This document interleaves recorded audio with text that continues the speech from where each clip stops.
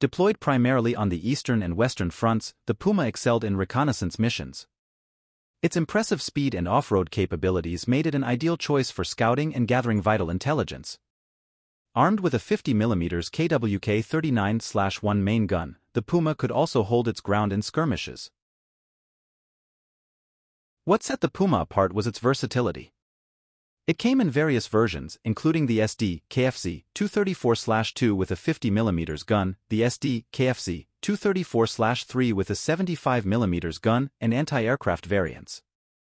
This adaptability showcased the Germans' approach to creating multifunctional vehicles to address different battlefield needs. While the SD KFZ 234 Puma was highly effective, it faced challenges as the war progressed. The Allied forces developed more potent anti-tank